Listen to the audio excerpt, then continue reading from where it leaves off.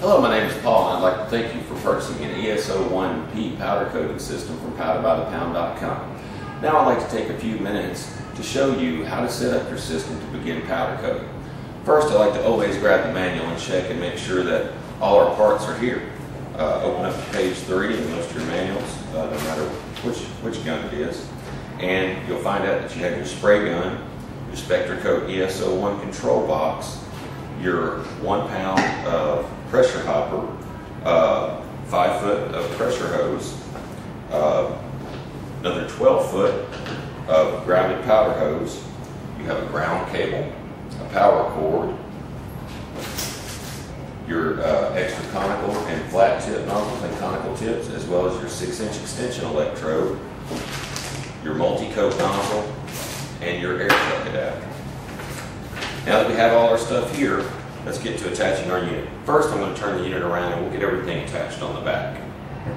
First, we see our gun port here, so we'll grab our gun connector in, little notch facing up, and goes in there just like that, and then just make a twist on it, and your gun cable's in. Next, we have where your main air supply goes in. And uh, you can either come straight in with a quarter inch airline, or we have a nice little adapter that comes with it, has a quarter inch airline uh, and a threaded uh, female so that you can get your male uh, quick connect shut for any kind of standard uh, air hose supplies from your compressor. Also, this is where our power goes in the back, just kind of like a standard computer cable, three prong goes right in the back here. And you have your voltage uh, selection switch, whether you're 110 or 220. So uh, if, if you're 110, make sure you switch that into 220 if, if uh, that's what you're using. Now we're going to go ahead and turn the unit around and uh, see our other connections that we have in front. First, I'm going to hook up our ground connection. And this is the ground wire that would go from your ground rod to your unit. We supply this one that goes to the unit. But you still need a ground wire that goes from the ground rod to your part or rack or however system you're using the powder coat with. So remember this ground rod goes to your, ground wire goes to your ground rod.